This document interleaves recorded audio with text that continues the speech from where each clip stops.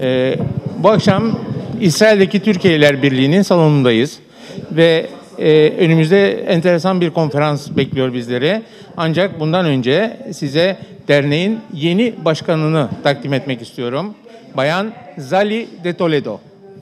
Hayırlı olsun. Çok teşekkürler. Ee, biraz kendinizi tanıtır mısınız? Ben bir e, başlangıç yapayım isterseniz. Bayan Zali de Toledo 10 sene kadar Türkiye'de İsrail'in kültür ateşeliğini yapmış ve bu sayede de gerek Türkiye'de gerek İsrail'de çok önemli e, şahıslarla ve insanlarla tanışmış. Şimdi de İsrail'deki Türkiye'liler Birliği'nin başkanlığını e, deruhte edecek. E, kısaca kendinizi tanıtır mısınız? İsrail Filarmoni Orkestrası'nın 10 senelik e, halkla ilişkilerinden başlayarak kendimi tanıştırayım. Evvela Sayın e, e, Başbakan'la bir e, beraberliğimiz var. Ona dediğim gibi ben de Kasımpaşa'da doğdum. ve bu evet ve bu galiba Hemşeriyiz yani. Hemşeriyiz. Evet hemşeriyiz. Hatta bundan bahsettik. Yerimizden bahsettik. Nerede doğduğumuzdan bahsettik ve çok enteresan bir konuşmamız olmuştu. Cumhurbaşkanı'nın evinde.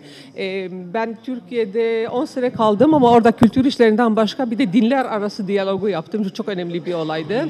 Dinler arası diyalog ve bu dinler arası diyalog İslam ve Yahud- Yahudilik arasındaydı ve ilk olarak e, İsrail Haham başısını e, resmi bir şekilde ilk Müslüman ülkesine davet eden Türkiye'ydi. O zamanların Diyanet Başkanı Mehmet Nuri Yılmaz tarafından. Aynı zamanda da e, Fethullah Gülen'le bir toplantımız olmuştu. E, yanılmıyorsam şu andaki İsrail Cumhurbaşkanı Şimon Peres'le de bir mesai arkadaşlığınız oldu. Kaç sene evvel hatırlamıyorum. e, Onun e, başba- e, başbakanlık seçimlerinde yardımcı olmuştum. Ondan sonra da İshak Rabin'le ve buradaki Türkleri de beraber getirmiştik. Orada beraber bir grup kurmuştuk. Yardımcı olmak istemiştik. Ve Türkiye ilişkiler yükselmeye başladığında e, kültür e, seviyesini yüksek çıkarmak istediler ve o zaman e, kültür departmanı yoktu. İlk olarak açtım tabula rasa dedikleri bomboş bir masa. E, bir seneliğine gittim ve 10 sene kaldım. Aslında ben Dışişleri Bakanlığı'na ait değilim ama büyük şerefle söyleyebilirim ki ben Şimon Peres tarafından Türkiye'ye yollandım. Çok enteresan. Peki ve şimdi de e, İsrail'deki Türkiye'ler Birliği'nin başkanısınız.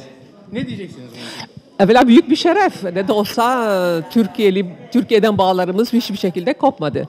Ve buradaki cemaatle her zaman e, her zaman temastaydım. Yeni bir şey değil. E, ve çok güzel çalışmalarımız da oldu. Batyam'da Kültür Kulübü'nü açmıştık zamanında. Büyük bir şeref aslında. Ben bunu daha ileri atmak için, daha geniş bir çapta, daha büyük bir tanıtım yapmak için uğraşacağım. Ne de olsa büyük bir non-governmental e, organization olarak e, büyük bir elimizde büyük bir koz, Sivil toplum kuruluşu. sivil toplum kuruluşu olarak elimizde büyük bir koz var ve bunu doğru kullanmak gerektiğini düşünüyorum. Peki şu anda İsrail ile Türkiye ilişkilerinin neredeyse e, taban yaptığı e, bir dönemdeyiz. Umarım daha da dibe çökmez. Bundan sonrası belki de işte dibe vurduktan sonra her şey yukarı çıkar. E, sizin Türkiye'ler Birliği Başkanı olarak bu ilişkilerin iyileşmesinde bir çabanız olacak mı? Yani işin rengine biraz politika veya diplomasi karışacak mı? Kültür de çünkü be- bence kültür en e, en kolay lisan. Herkes anlar, herkes konuşur bunu. Unutmayalım ki birkaç bir, bir, bir iki hafta evvel Cem Mansur önemli bir Türk şefi burada Hayfa Sinfonisi'ni 5 konser için geldi. Biz e, bu ilişkileri soğutmadan bu şekilde devam ettirirsek, kopmamasına yardımcı olursak eminim ki daha ileride ilişkilerin yükselmesine büyük bir katkıda bulunacağız.